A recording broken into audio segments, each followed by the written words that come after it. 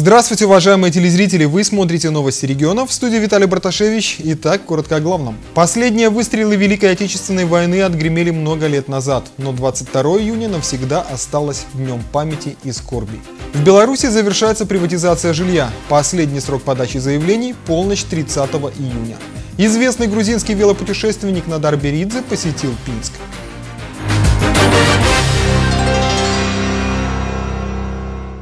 «Я крепость, веду бой, держу оборону». Эти слова даже через 75 лет в сердце каждого из нас отзываются особым трепетом и скорбью.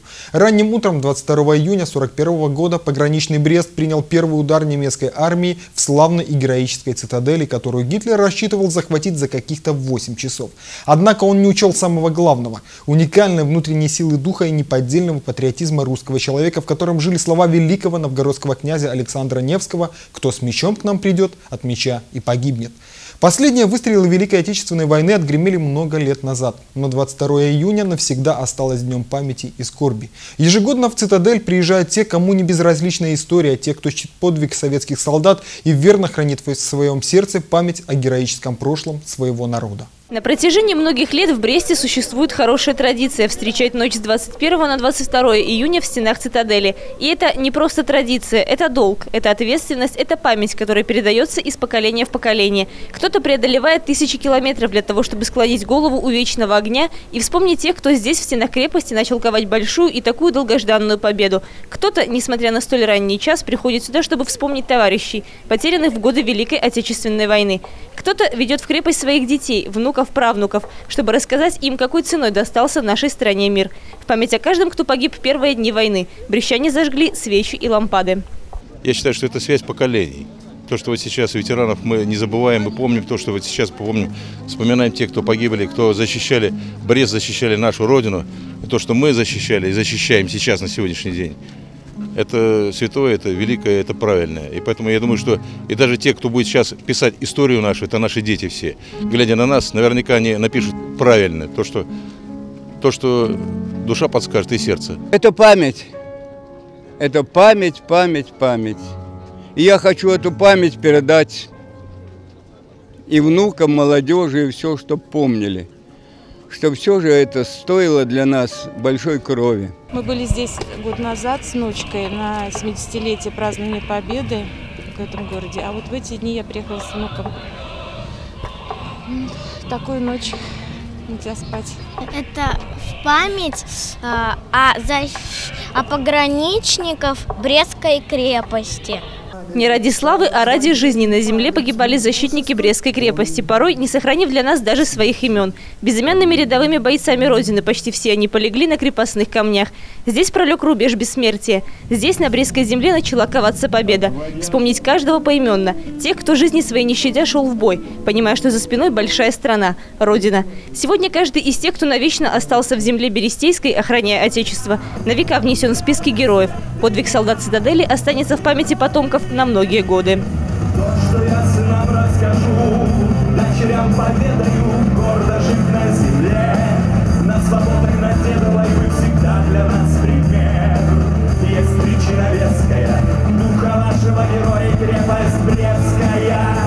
Сегодня такой день, день скорби и светлой памяти о тех, кто защищал эту землю – и не вернулся, защищая, отдал свою жизнь.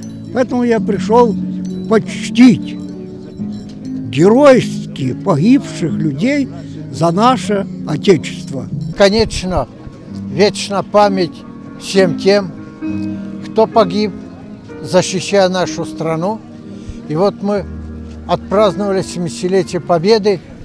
Это знак величайшей признательности – которая была обеспечена, конечно, большими жертвами для нашего государства. Памятные ленты кладутся на гранитные плиты, возлагаются цветы к вечному огню. Пограничники на БТРе едут опускать венки в воды Буга. Молчаливые мы помним, и память эту не перекроить. История легендарной цитадели объединила русских, белорусов, украинцев, грузин. Всех тех, кто именовал себя гражданами великой страны – СССР. Брестская крепость навсегда останется общей славой, общей болью, общей памятью. Об этом не раз говорилось во время митинга Реквиема. Память – вот основа истории любого государства. Память о героях – это долг каждого из нас, наследников солдат Победы, которая начала коваться здесь, на берегу Западного Буга. Здесь гитлеровским войскам стало ясно – молниеносно завоевать эту огромную страну просто невозможно. К сожалению, эта война не стала последней. И сегодня во многих странах гибнут люди, и по-прежнему есть желающие поиграть военными мускулами. Я призываю всех, в первую очередь молодежь, сохранить память об уроках Великой Отечественной войны и никогда не допустить ее повторения на нашей земле. Конечно, представить на самом деле, какой ужас пережили защитники крепости, сегодня невозможно. Однако, благодаря традиционной реконструкции, в которой в этом году было задействовано более пяти сотен участников, жители и гости областного центра смогли хотя бы на миг прикоснуться к этому эпизоду истории. Теплая июньская ночь 2016 напоминает ту, что была здесь в трагическом 41-м. Взрывы и выстрелы прерывают счастливый бег времени. И перед глазами 41-й разворачивается напряженный бой. Грохочут орудия, взрываются снаряды. Сложно представить себе что-то более эмоционально насыщенное, реальное и сильное по самой своей сути, чем смоделированные в настоящем первые часы Великой Отечественной войны. И реконструкция не просто важная составляющая знаковой даты. Это еще и возможность понять, через что пришлось пройти защитникам нашей Родины. Почувствовать гордость за героическое прошлое и осознать, насколько бесценным богатством является мирная и спокойная спокойная жизнь на суверенной и независимой белорусской земле.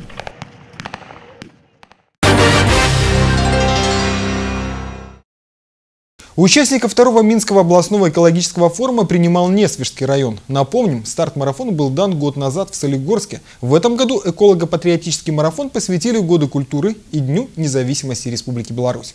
Форум объединил 150 человек, участникам предложили пройтись по экомаршрутам в трех направлениях – социальных, производственных и культурных объектах Несвежского района. Все подробности далее. Любить и беречь родную землю, сделать ее чистой и красивой. Собственно, это и есть главная цель, которую ставят перед собой организаторы марафона. От имени областного совета депутатов, от имени исполнительного комитета, областного исполнительного комитета, от губернатора области Семена Борисовича Шапира, которые, как и вы, уделяют очень много внимания прелестям нашей области. Как бы старинным, так и вновь, созданным. Хочу поблагодарить всех вас за то, что вы занимаетесь сохранением нашей экологии. Ведь мы самая богатая страна. В Беларуси самые большие залежи пресной воды. Когда у некоторых закончится нефть и другие ископаемые, мы сохраним свое богатство. Идейным вдохновителем экофорума в Минщине вот уже на протяжении нескольких последних лет является Мария Худая, председатель Минского областного координационного совета общественных объединений и политических партий. Не понаслышке знает толк в экологии. За ее плечами многолетний стаж работы в сфере охраны окружающей среды. Второй областной эколого-патриотический марафон посвятили Году культуры и Дню независимости страны. Неразделимо сегодня слово «культуры» от всего того, что происходит в целом вокруг нас. Культура поведения, культура производства, культура на рабочих местах. Именно благодаря тому, что Несвежский район является одним из лучших не только в области, я бы сказала и, наверное, в республике, и то, что вы по итогам 2015 года он занесен на республиканскую доску почета, это говорит о многом. Хочется работать, трудиться, приумножать и гордиться этой землей.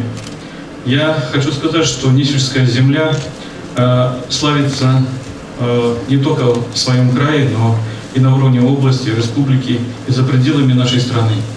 Сегодня у нашего района, у нашего города Несвежа 21 город-партнер в 15 странах мира.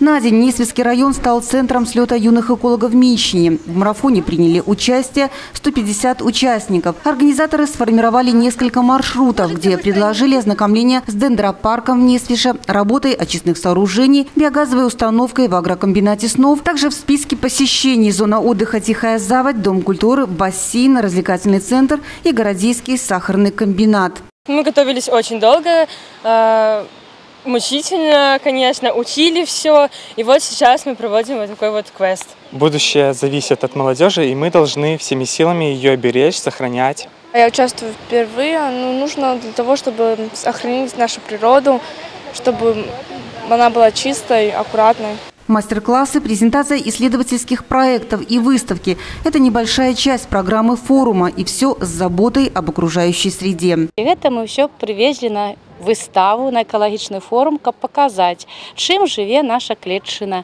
Вось што мы гадуем, як нашы дзеткі рыхтуюцца і ў дальнейшым, мабыць, будуць вельмі з- такими знакомитыми экологами. Подводя итоги марафона, гостей ждал сюрприз. Учащиеся Несвежского района презентовали зрителям экологическую программу «Пусть будет мир прекрасен». Хедлайнером программы стал показ моды. Надев костюмы из турсырья, детвора попыталась вдохнуть новую жизнь в мусор. Основой для модных фасонов стала бумага, картон и пакеты. Я знаю, что это как бы эм, то, из чего делают наряды, и получается экономит то, что можно выкинуть в мусорку. Из бумаги можно сделать что-нибудь полезное. Например, э, розы из бумаги можно сделать или какое-нибудь платье. На бумагу уходит очень много деревьев, и а деревья помогают нам жить, э, ну, дышать воздухом. Финальным аккордом эколого-патриотического марафона стало награждение победителей за практическую реализацию эколого-патриотических проектов, за работу в области охраны окружающей среды, за пропаганду экологической культуры дипломами и подарками Миноблсполкома были отмечены активисты. В числе награжденных и Солигорский телеканал.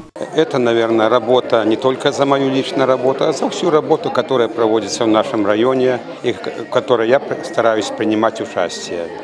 С силами наших и эколого-биологический центр, и школы многие, и созданный музей природы в Завшинской школе, энтомологический музей и много-много других таких заведений, которые оказывают помощь в экологическом воспитании наших детей в первую очередь юношей. Выполняла я эту работу как, в символ того, что лебеди – символ свободы. И так же, как наша страна, я хочу, чтобы наша страна была свободна. Я очень рада, что победила, я не ожидала этого и горжусь тем, что мне помогали мои руководители. Сегодня экологическую науку преподают в каждом районе Минской области по разным направлениям. Перенимать знания и опыт у старшего поколения, выдвигать новые идеи и проекты, которые выведут экономику, культуру и науку государства на новый, более высокий уровень. Эта работа будет продолжена, и уже через год форум снова объединит молодых инициативных людей. Местом встречи станет другой город, область прежняя Минская.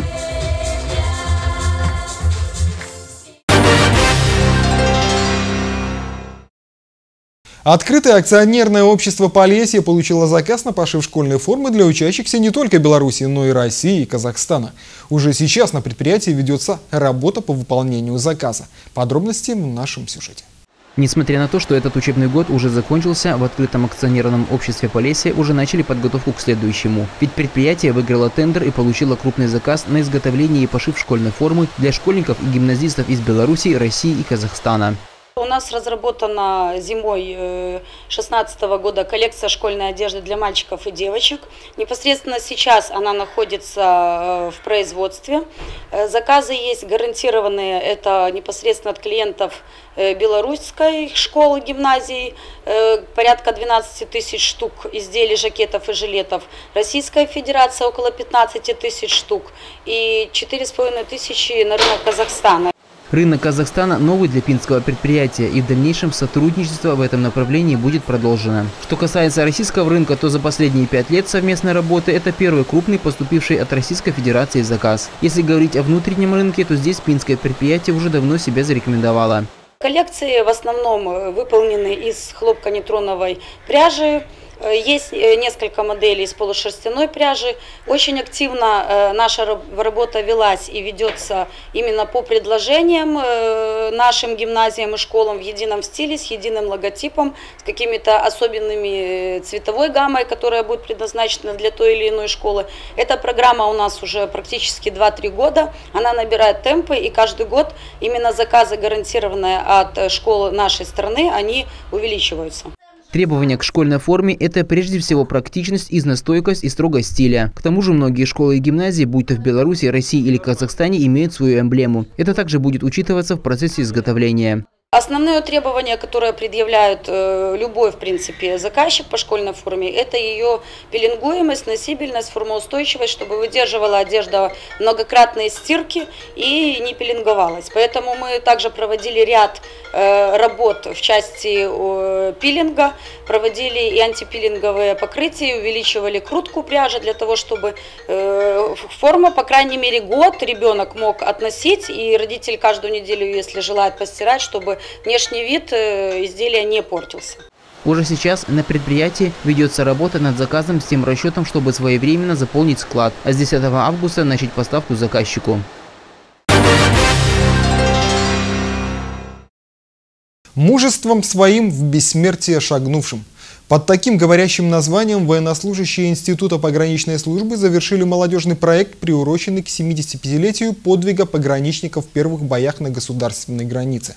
У Тереспольских ворот мемориала «Брестская крепость-герой» прошла акция «Боевой расчет», посыл которой – помнить и никогда не забывать тех, кто отдал свои жизни ради мира на земле.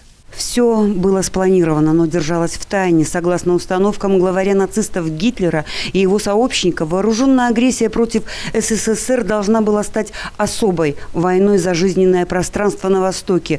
В этой захватнической войне открыто делалась ставка на физическое истребление большинства советских людей, уничтожить, стереть с лица земли. Ставка на неожиданность, мгновенность. Без объявления войны они вторглись на наши земли первыми, приняли на себя удар брестские пограничники, 17-й погранотряд, герои, мужеством своим в бессмертие шагнувшие.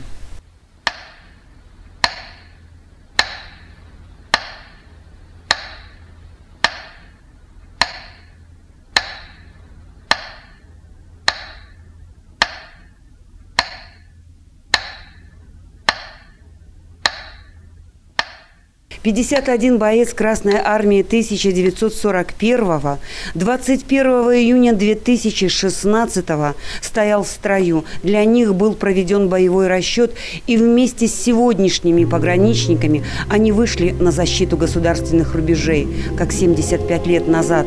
Их подвиг бессмертен. Они погибли, но память о них живет и будет жить, пока мы помним о них, лейтенантах и капитанах, сержантах, майорах, офицерах и рядовых. Это цель акции, которую инициировали военнослужащие Института пограничной службы Республики Беларусь. Сама акция, которая вот сегодня апофеозом являлась э, именно молодежного проекта «Мужеством своим бессмертием шагнувшим», акция «Боевой расчет», она родилась, скажем так, в дань памяти тем пограничникам, которые сложили свои головы, действительно, вот 22 июня, да и в последующие дни на пограничных заставах Белорусского пограничного округа которые, некоторые из них, которые имена даже их были беззаветно, скажем так, и незаслуженно забыты. Мы находим э, родственников пограничников, э, работаем в национальных архивах Республики Беларусь по, скажем так, возданию памяти, возрождению этих имен.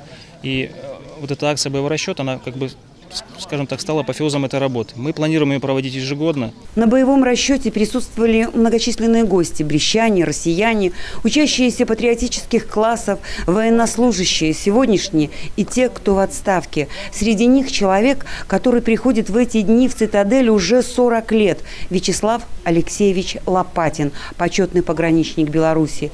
И уже 40 лет он сверяя часы. В 3 часа 30 минут ровно будем открыть огонь по городу Устилугу. Это пригород э, Владимир-Волынска.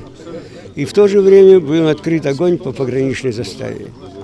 И вот единственное, что я запомнил в свои детские годы, а мне был четвертый год шел, я помню, как бежал, уже все горело. Вышка пограничная горела, и деревянные постройки уже горели. Это ровно было в 3 часа 30 минут. Вы так бережно, трепетно держите часы, вы сверяете минуты? Да. Почему? Я уже сверяю их здесь 40 лет. Я в 76 году сюда прибыл и всегда прихожу на это место здесь и сверяю часы. Больно. Три часа 30 минут. Больно. Да. Болит.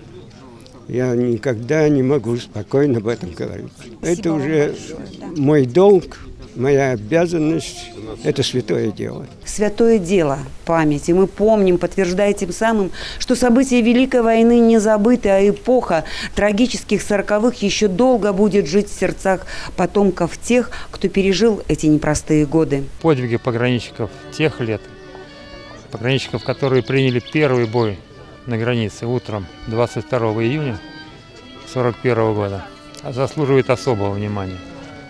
Брестская крепость – это символ стойкости и нерушимости границ Советского Союза. Это символ стойкости и мужества всего советского народа. Он таким был, таким и должен оставаться. Нельзя забывать то, что свято. Вот, тем, чтобы можно было всем поколениям передавать эту память, и она жила в веках. Главный урок войны – научиться ценить мир был получен слишком дорого. И львиную долю этой цены заплатили своей кровью известные и безымянные герои Брестской крепости. Так будем достойны их памяти. В Беларуси завершается приватизация жилья. Последний срок подачи заявлений – полночь 30 июня. С 1 июля все неприватизированное жилье перейдет в разряд арендного. Это значит, что к коммунальным платежам добавится арендная плата. Как завершается процесс приватизации в Солигорском районе, узнавала наша съемочная группа. Приватизация государственного жилищного фонда в Беларуси началась в 1992 году. Более 24 лет те, кто проживал в государственном жилье, имели возможность обратиться с заявлением о передаче квартиры в собственность. Процесс активизировался в последние два с половиной года, когда была названа дата завершения приватизации. Несмотря на приличный срок действия кампании, часть жилфонда до сих пор остается неприватизированной. В Солигорском районе это порядка 800 квартир, полтора процента жилфонда. В основном, э, скажем так, э, квартиры, в которых э, проживают и зарегистрированы пенсионеры, также граждане, у которых имеется большая задолженность за коммунальные платежи, то есть, скорее всего, не совсем благополучные семьи. Вот, то есть, ну, те граждане, которые хотели и имели возможность, они уже обратились с заявлением. По мнению занятых в процессе приватизации специалистов, все, кто хотел приватизировать квартиру, уже подали заявление. Тем, кто этого не сделал, работники Солигорского расчетно-кассового центра трижды лично вручали уведомления. И все же в Министерстве жилищно-коммунального хозяйства решили в последний месяц продлить режим работы службы «Одно окно». Это первая инстанция, куда обращаются желающие приватизировать квартиру. Весь июнь здесь принимают заявления в будни и выходные с 8 до 20 часов. А последние 4 дня месяца «Одно окно» будет и вовсе работать по 18 часов с 6 утра и до полуночи. В Солигорске ажиотажа на подачу заявлений нет, но процесс активизировался. В день обращаются до 15 человек. С начала июня о своем желании приватизировать квартиру заявили более 100 солигорчан. Первое, что нужно предоставить к нам, это, конечно же, э, договор найма Государственного жилищного фонда. А, прийти с паспортами, все члены семьи, которые зарегистрированы в данном жилом помещении, совершеннолетние, обращаются с паспортами. Если есть несовершеннолетние члены семьи, то приносят э, свидетельство о рождении. И все, желание. Они должны определиться в первую очередь, кто будет участвовать в приватизации, желание и написать заявление. Последняя дата обращения – полночь 30 июня. С 1 июля 2016 заявления на приватизацию приниматься не будут, а все неприватизированное жилье переведут в фонд коммерческого и выставят жильцам арендную плату. Однако это не значит, что завершится и сам процесс приватизации. Оплатить первый взнос и зарегистрировать договор приватизации можно и позже. Но если процесс приватизации полностью не завершен, то есть не получено свидетельство о государственной регистрации и не внесен первый взнос в размере 10% оценочной стоимости, с 1 июля 2016 за квартиру все же придется платить арендную плату. Она будет включена в квитанции об оплате услуг ЖКХ. Плата за найм пока будет рассчитываться с понижающим коэффициентом. К примеру, для квартиры площадью 50 квадратных метров она составит примерно 170 тысяч рублей. Реальная же стоимость аренды без понижающего общего коэффициента в 10 раз больше – 1 миллион 700 тысяч. Конечно, приватизация – процесс не дешевый, только первый взнос в среднем составит 25-30 миллионов рублей. Оставшиеся 90% стоимости можно выплатить в рассрочку на 40 лет. Взамен – возможность стать полноценным владельцем жилья и оставить его наследникам, обменять или продать. Напомним, воспользоваться своим правом на приватизацию можно до 30 июня включительно.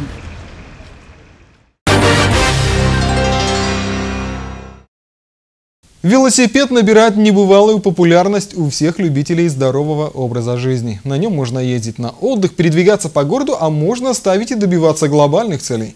Например, участвовать в велотуре, проехать 50 тысяч километров и побывать в 50 странах. Такую цель поставил перед собой гость нашего следующего сюжета, который вечером 16 июня остановился на своем долгом пути в городе Пинске.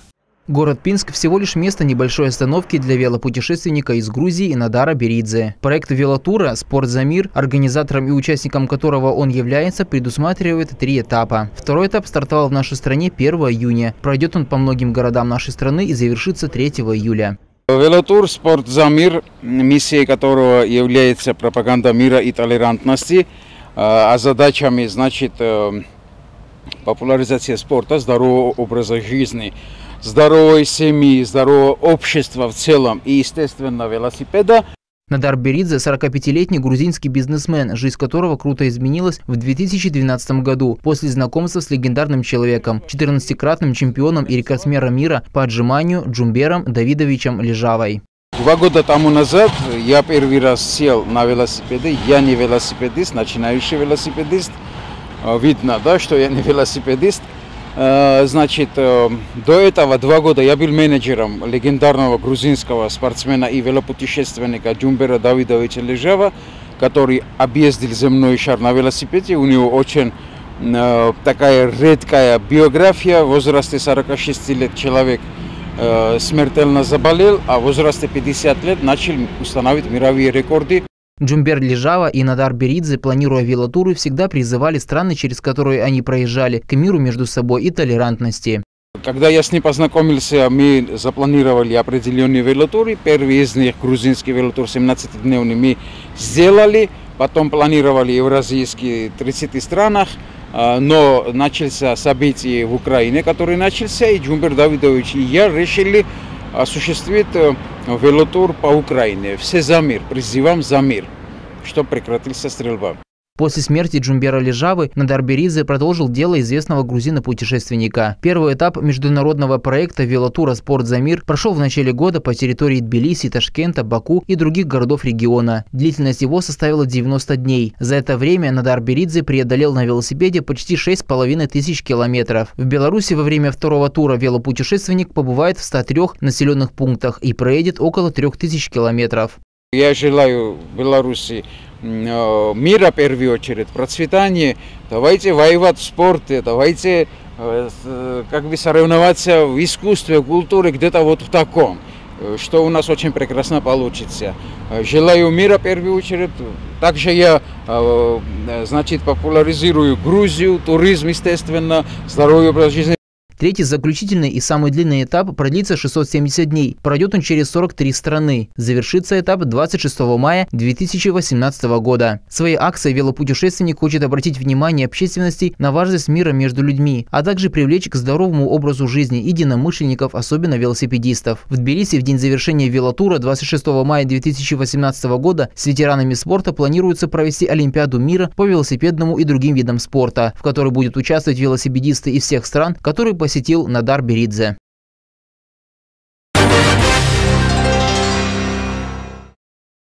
Это были новости региональных телекомпаний. Мы рассказываем только о самом важном и интересном, что происходит сегодня в регионах Беларуси. Увидимся с вами ровно через неделю. Всего доброго. До свидания.